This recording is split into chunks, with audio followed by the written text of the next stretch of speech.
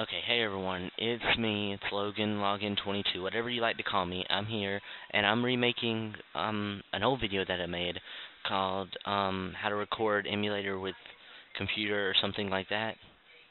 Um, I, now, but now I have a mic, which is why I want to make this a lot easier for everyone who didn't understand. I, I had several questions under my comments, so I wanted to fix this. So first you need to go to camstudio.org slash DEV. Um, now everyone who out there who thinks Linux and all that stuff, not Linux, but uh, Fraps and all that stuff is better, I've tried it all.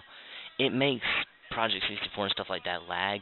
High FPS games work better, but Project 64 is just a basic FPS game, so you don't need that much of FPS.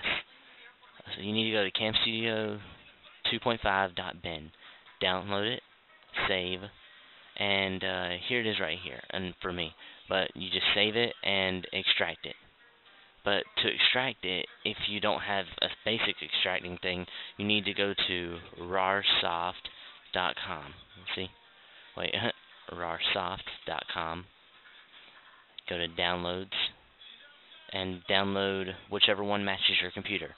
I downloaded that one because I'm on XP or Vista, whichever one you guys use. Now, after you all you do is click here, save, or yeah, click save if you want to, or you can click run. Um, just save it and install it. Next, you need uh, a, an emulator, so go to google.com, Google Project 64K, and uh, well, which is what I would Google because that's what I use all the time.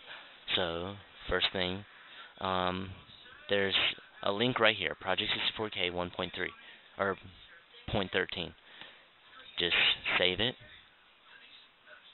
And here it is for me but it'll come out as it looks like a pile of books after you've installed WinRAR. Just right click on it. Here I'll show you right now. Save it like this. See? Okay. It's right here. Right click and go to the third one because that'll extract it right to um, it'll extract it right to a folder like this one okay? And when you're done extracting you can delete the book one. Now you need to go to um, after you have a ROM you need to go to roms.com that's what I use. You can use any other site. Just google the ROM you're looking for. But I'm I like to log in onto this site. You need to register to download ROMs but it's free and it's not hard. And they have every single ROM and every single emulator you need. Um, now, if you need a ROM, I'm downloading Super Smash Brothers because that's my favorite ROM, and uh, I like to save it. Uh, I'm going to save it to my desktop, just like this, and it takes a while to download. So, yeah. Um, now, there's several ROMs. You, like every, it has every single type of ROM when you download it. So, I mean, like every single country.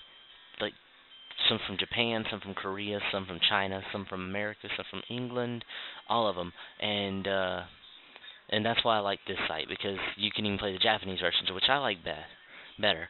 But anyway, um, all you do is extract it. See, Super Smash Brothers. It's extracting. It's a very big file, so all you do is do that. Do do do do do do. Eh, okay, it's done. Now you open up Project 64K, which will be right here, after you've extracted it, of course. If you haven't extracted it yet, then all you'll see is a pile of books. Now, you um, need to set up your, let me go get rid of all this other, all this other crap. Next, um, let me close this too. Um, file, choose ROM directory. Now I'm going to go ahead and use the one I just installed, so Super Smash Brothers, and here they all are. Now, I'm going to show you how to run the ROM. All you do, if you want to run an, a ROM by itself, all you do is double click on it. And there it is. Now, this isn't the full thing because of the auto pan. You know, it, it's most of it. It looks pretty, it, it's pretty simple. Um, if you think it starts out too small, all you got to do is go to Options, Graphics, and there's the windowed resolution or to go full screen which I wouldn't suggest in online play um, you hit alt and enter at the same time but I like to use this one and as you can tell it's so much it's much bigger. But I I'm gonna stick with this one because it, it's much easier to see through my teeny little auto pan. Okay, start. Um, and as you can see, it works like a charm. Beautiful, right? Okay. The little thing at the bottom that you see that says FPS, that's um that's just the speed of that it's running at.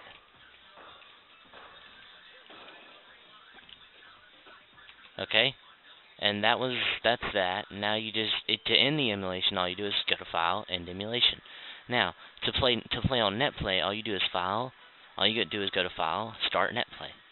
Now you just enter a username. My my username on Kaillera, which is what this is called, um, is G. Well, it doesn't matter. Just mostly login 22. Um, if you ever you'll see you'll see me on Emularena, which is one of the most popular servers in my opinion. Um, and all you do is go to wait. What I do is go to waiting games since I like to find my game. Um, and here's the one I like to go to, Emularena. Um, now, all you do is chat. See, hey everyone, and there we go. And uh, you can open chats, smashes, just like that. See, and people join, and all you do is hit start game when you've got enough people. You can get one to four people max for a game, and you just run it and play it. Simple as that. And that's all there is to it. Hope you enjoyed this tutorial, and that's all I have to say. Thank you for your time.